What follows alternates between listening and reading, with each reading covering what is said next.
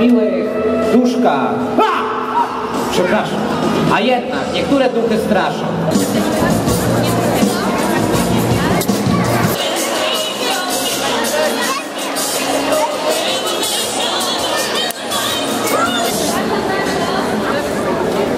Synek się przebiera, proszę powiedzieć, za co będzie przebrany?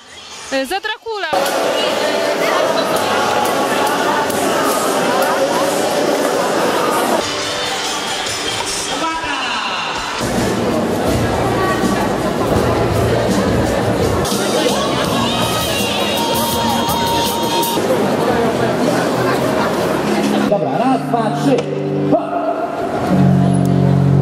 Wow.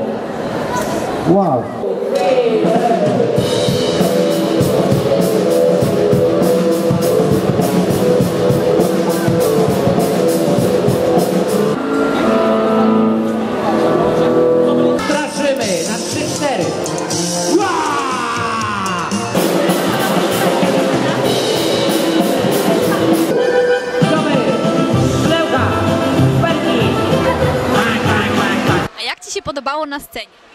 Fajnie było. A powiedz mi, czy w Halloween się bawisz, chodzisz po domach, zbierasz cukierki? No. I czasem dużo zbieram cukierków, a czasem nie. Kto pierwszy trafi, nie zakręcamy. Trzeba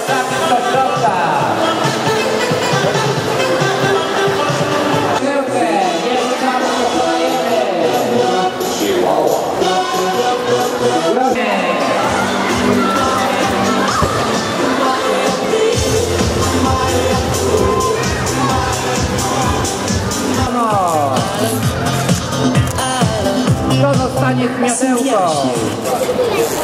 Podajemy dalej i brawa dla gnijącej panny młodej! Poproszę o specjalną nagrodę. Wyłoniliśmy w konkursie trzech zwycięzców.